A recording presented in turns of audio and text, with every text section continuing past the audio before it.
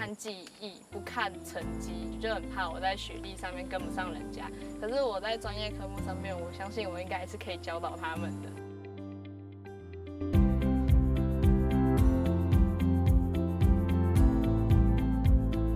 大家好，我是江启慧，我今年十八岁，刚毕业于淡水商工，参加全国技艺竞赛，荣获造园景观职总金手第一名，靠着这个成绩保送了台大园艺暨景观学系。那时候我进园艺的时候，我根本就不知道有造园景观这个东西。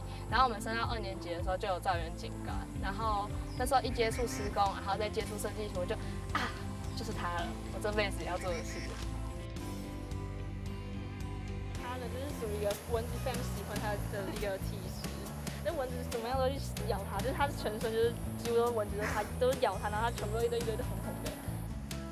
刚开始的时候啊，就是它，它就是那个时候戴了一个眼镜，它就是有点像那种老师，就是黑框老师，然后会戴那种比较尖的那一种，看起来就很凶。跟它熟了以后，发现它是一个蛮好相处的人，就是很搞笑趣。我们教水硕有时候会说，啊你怎么长这样这样子，就是要它长好一点这样子，就说你不要你争气一点，长好看一点这样。会长高啊，拜对，托。长高一点。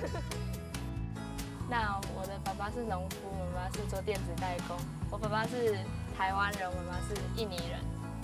爸爸是种树，他是卖那种景观树。然后我们家本来就有一块地，然后我就会在旁边玩水，然后爸爸就会在旁边种植物。有时候玩水玩无聊，就会去帮他玩，就是玩他的东西。然后玩久玩久就觉得，其实也没有不好玩啊。然后太阳也晒习惯，就对园艺有兴趣了。除了喜欢园艺，我从小也对画画有兴趣。那造园景观就是两个都结合的东西。因为他们这个年纪，其实呃比较对他们来讲比较困难的是设计构想，就是说他们知道这些呃设计需要注意的事情，可是要他们用他们的文字描述出来，然后让它是有吸引人的这件事情，对他们来讲是会比较有难度的。他其实从一年级入学的时候，他就是蛮有天分的小孩，对设计天分以外，大概就是他的个性是比较会呃替别人着想。比较贴心的，像我们在设计一些老人院啊的一些庭园设计的时候，他会把一些园艺治疗的概念放进去。呃，人家都比较喜欢自然的，亲近大自然，所以就是走自然风。我安排就是不会落叶的植物，那它比较低矮，然后还有园艺治疗的香草植物。你不会落叶的植物，就是可以减少一些打扫麻烦，那照顾的人就不用一直去打扫，然后他就可以专心照顾老人。然后低矮的植物的话，有时候那些推轮椅的人就可以稍微摸摸植物。然后香草的话，就是让他们可以有时候偶尔玩一下之类的，就让他们触摸啊，闻一下香气，刺激他们的嗅觉、触觉。比赛的时候是两个小时要画完呃图，然后做设计。那其实两个小时要思考很多东西，是对他们而言是有点困难。你要把你的课业放在一边，你要专心练你的选手。我们那时候是三二下，然后三上的时候练习。那我就是二下到三上，我就是所有公家直接请半年，然后就都在选手室关在那边练习。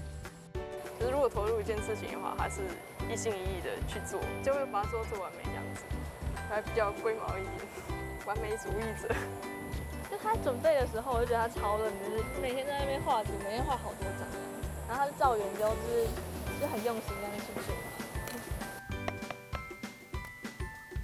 在园艺科的学员来说呢，呃，造园施工是一个非常重要的专业能力，比较讲求的是你的脑袋要活用。那我们在施工的话，主要就是说你可以按照图面来进行一个施工的动作，这也是一个很重要的一个技能。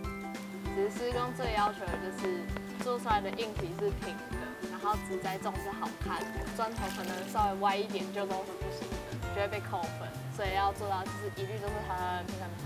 然后出重的话就是搬水泥、搬这种石头会觉得很重。一个题目就只有一个人而已，不会有任何人来帮你，所以所有的砖头都是要自己扛、自己搬。东西真的超重，可是男生可以这样子拿了就走，拿了就完了，就是重的要死，然后还要搬很多趟。他会早到，然后也会晚退，所以他是一个很标准的、非常刻苦耐劳的学生这样子。如果你没有特别去呃看他的资料的话，你不会发现他是新二代的孩子。那在我们呃，在当老师这一块，我觉得，呃，其实新二代的孩子跟一般的小孩没什么太大的区别，都是一样天真、乐观这样，善良这样。妈妈常常会带我回去印尼，就是找我的姐姐找她的亲戚朋友玩。我觉得我的视野比一般人，就是比一些城市小孩可能还要再开阔一些，因为我不是只有待在台湾一个国家，我还会去印尼。有时候一待就是一一两个月，就是可以看到那边不同的文化。靠着这个成绩保送了台大园艺暨景观学系，因为我不是从北一女或者建中，只是考试上去了。我的管道比较特别，是特殊选材，它是只看记忆不看成绩，就很怕我在学历上面跟不上人家。可是我在专业科目上面，我相信我应该是可以教导他们的。